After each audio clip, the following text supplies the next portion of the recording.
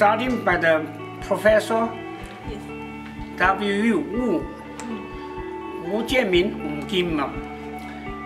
He's the, you know, the professor of the, of the you know, Vanier College. And then organized uh, about uh, eight family from, from Taipei. Organized, you know, start of the, of the, of the, of the, you know, the Chinese school. In the meantime, there's a second, second, you know, the school, Chinese school, in, in Montreal, Sunday only. This is for the Chinese school. The, the rest they, they, you know, the Vanier College, they are going, they use there for regular school, you know.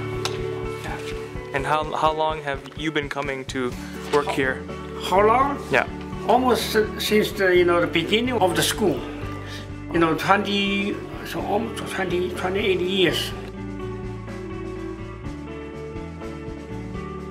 From 80, from 80, official immigrant to get to, to Montreal. Get into the Air Canada. Yeah, because I'm I'm a mechan- marine, I'm an engineer. So start from Air Canada.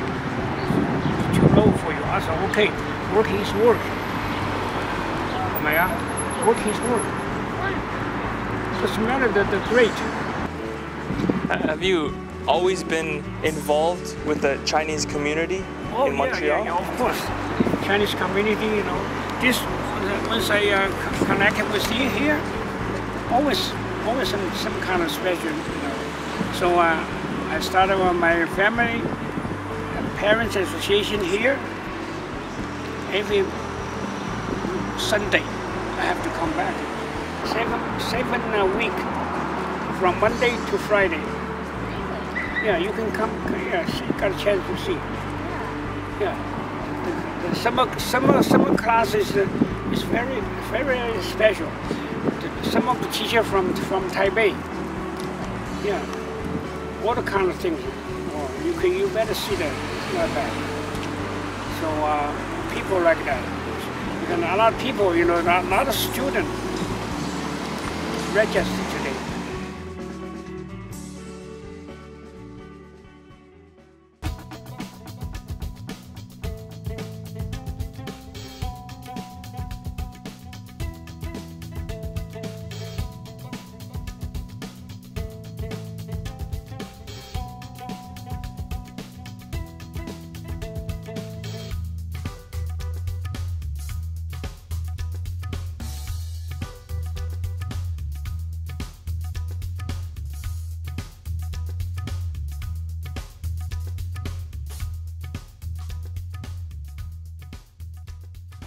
was born in uh, uh, uh, as a city in uh, Guangdong province in China.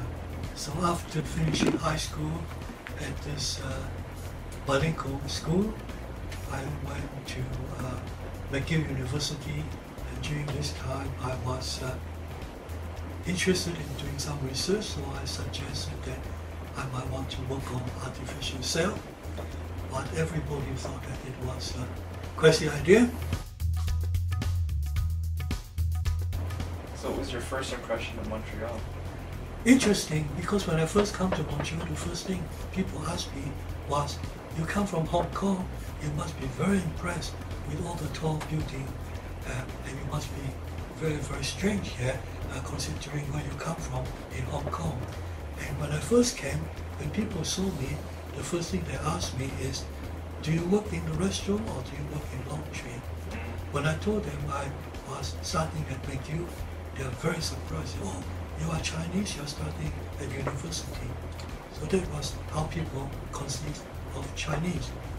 But then things change with time, and nowadays when you go out, when people see Chinese, they usually ask you, are you a doctor, are you an engineer? Or younger people, which university do you go to? So things change a lot since uh, more than 50 years ago.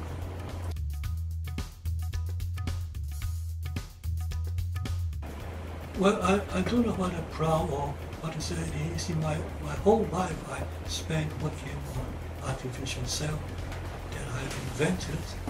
So uh, that has now been expanded to many, many areas of application.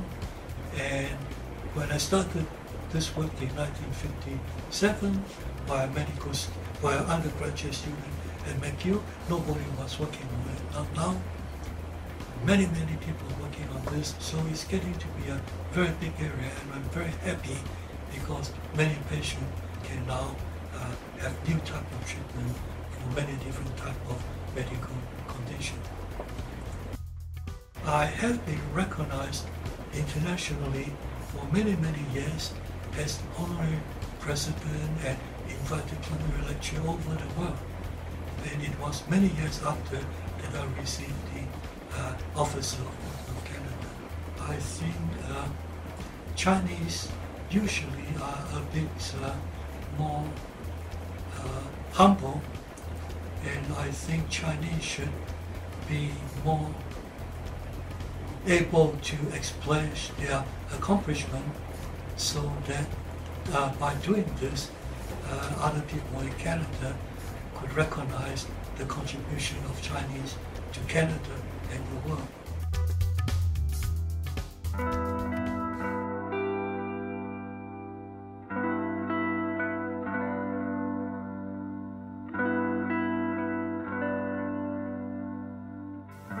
Moi j'avais petit, j'avais eu beaucoup de problèmes avec deux pieds dans deux places. Puis je crois que c'est un avantage.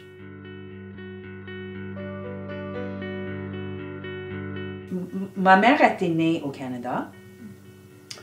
Euh, parce que mon grand-père est venu pour, euh, tout le, pendant tout le chemin de fer.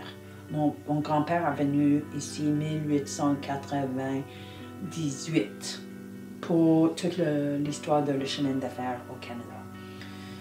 Ça, c'est côté mère euh, de mes grands-parents. Côté père, hein, mon père, lui, il est venu, il, lui était euh, 14 ans, il était envoyé par le, son, la famille.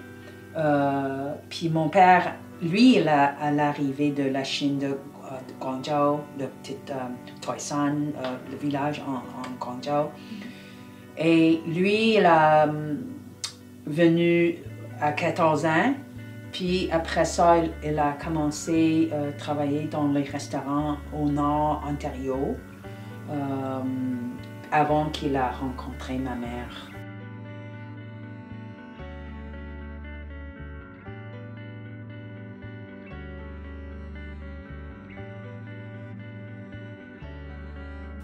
Quand j'avais vu 24, 25 ans, j'ai commencé à réapprocher ma famille, puis réétablir mes euh,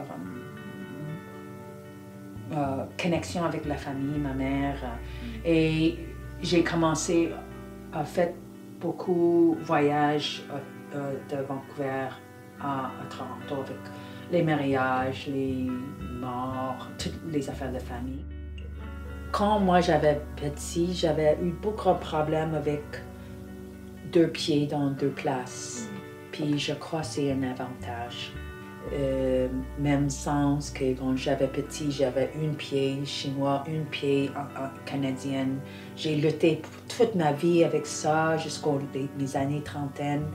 J'avais résisté, j'ai lutté, j'ai rebelle mes racines chinoises, je veux rien savoir, mes racines chinoises, mais quand j'avais 20, 20 24, 25, j'ai commencé à réembrasser ma famille, réembrasser mes racines chinoises et réembrasser le fait que c'est un conflit, puis c'est important de toujours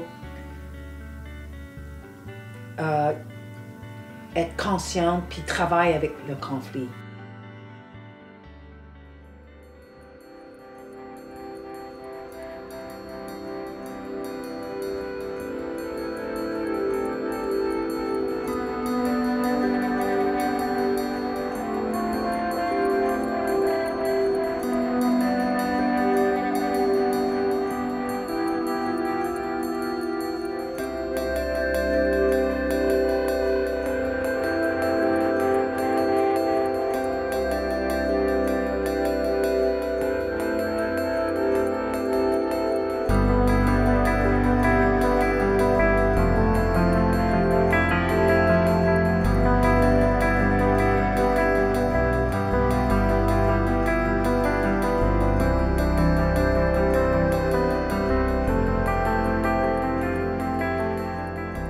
Came in 1958 to uh, study architecture uh, in uh, Montreal and McGill.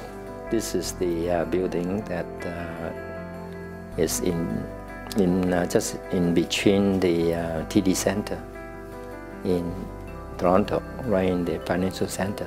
So what is your favorite work? The thing that you're most proud of? This, this one is actually the, the favorite because this one is, uh, there's a lot of uh, new thing in it. The, the technique of that facade has been copied by many, many buildings since then. Yeah. How, how did your style change? Your, your it's, the, it's not really the style change, but it's the technique change that makes the design change as time goes by. I'm always design the building based on the the time of the technology and also the um, the, the need of that each project is different. Earliest business by Chinese are laundry, literal uh, laundry shop. Um, that really uh, are the beginning of Chinese group in China. By the time I come, that was 58, there's still about six or seven Chinese laundry in Montreal, but today there's none. So when we first arrived, um, although I never, because I was lucky enough to get a professional job, but many of my classmates or schoolmates um, had worked in the restaurant. And then when they were asked, what do you speak? Then they say Cantonese, and they say, oh, you don't know how Chinese. To them, the national language is Taiwan, Taiwanese. So that shows the small uh, community at that time. Well, volunteer work, I always am interested simply because, uh, especially here, being non-Canadian, uh, non-local born, there's always so much to do. Uh, in the beginning, of course, I'm only interested in doing volunteer work for the Chinese community, such as the Chinese school and the hospital. But gradually, the, uh, the interest expanded to uh, the student need.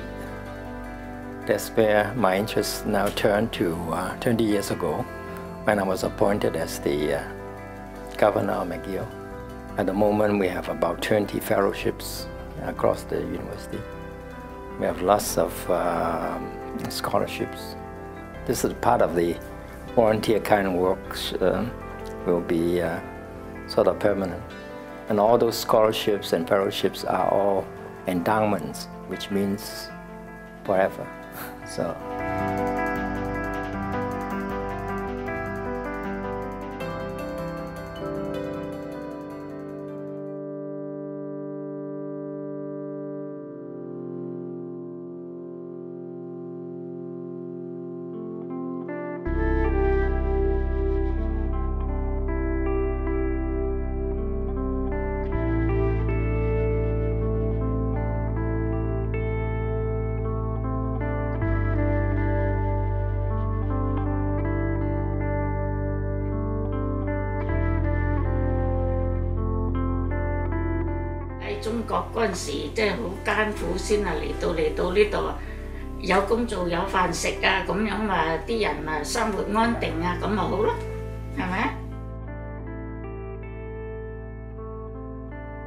五零年嗰陣時，八月就結咗婚咯。結咗婚，我哋啊本嚟係係做生意噶嘛，做生意因為解放嗰陣時七誒五零年。 五一年開始就啲一味啲做生意啲一味要納稅啦，好多稅噶啦嘛，咁啊做幾做冇得做啦，冇得做我咪又冇工做，又冇生意做，咁啊生活運好艱難啦。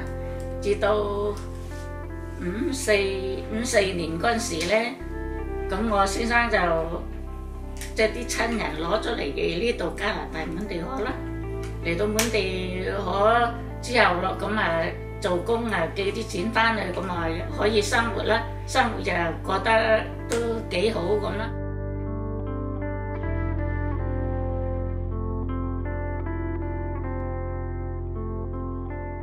我哋係住喺個即係個城市仔嚟噶嘛，個城市仔咁我哋食即係自己俾錢去買糧食先有糧食食啦嘛。